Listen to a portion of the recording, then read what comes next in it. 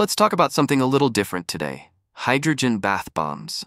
They're trending right now in the world of wellness, but are they actually worth your time and money? These bath bombs claim to do more than just fizz and smell good.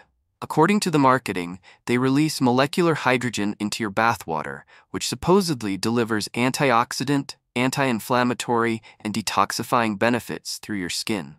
Some even compare them to the therapeutic waters of traditional Japanese hot springs, or onsens, known for their relaxing and healing effects. The hydrogen bath bombs we're looking at say they can be reused up to six times, deep clean your skin, reduce muscle fatigue, and leave your body feeling refreshed and rejuvenated. It sounds great, right? Almost too good?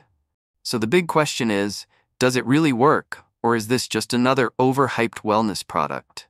Let's dig into what we found. Some early studies do suggest that bathing in hydrogen rich water might have health benefits.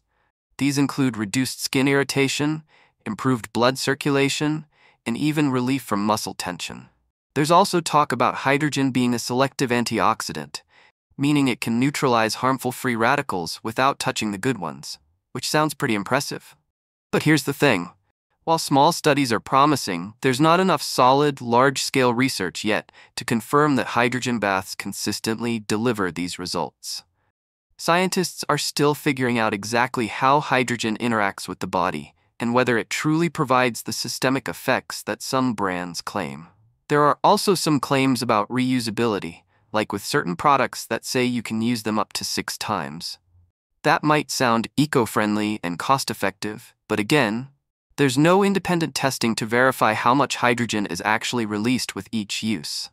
In short, the experience may vary a lot from one product to another. As for safety, these bath bombs are generally safe for most people. But if you have sensitive skin or specific health conditions, it's always a good idea to check with a doctor first, especially when using a product that claims to affect your bloodstream or biological functions. So here's the final verdict. Hydrogen bath bombs aren't exactly a scam. They do release hydrogen into the water, and there's some science behind the idea. But the actual health benefits are still unproven, and the way these products are marketed can be a bit overstated. If you're buying them for a relaxing bath, fine. But if you're expecting major health transformations, keep your expectations realistic. Now it's your turn. Have you tried hydrogen bath bombs? Did they do anything for you?